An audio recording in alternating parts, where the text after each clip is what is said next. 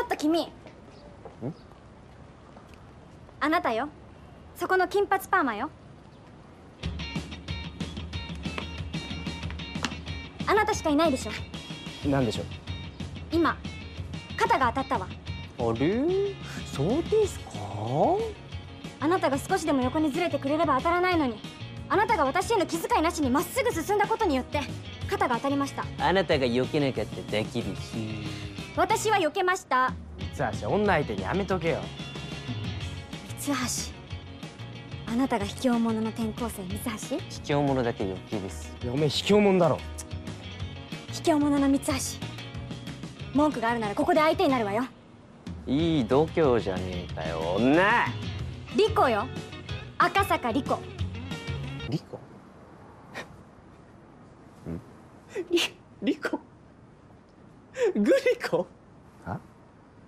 グリコ？ごめん。グリコ？どこが面白いのかわかんねえんだけど。一緒に。グリコ？人の名前で笑ってんじゃないわよおめえ強えかもしんねえけどよ。所詮は女だからな。なめないで。三橋女相手にやるんじゃねえよ。ふ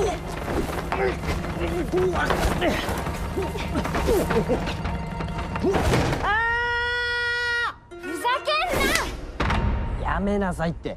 偶然偶然。なんなんだよな風紀委員のくせに。こっちからふっかけてきたような感じだよな。そうだよ。俺何もしてねえご機嫌斜めだったのかな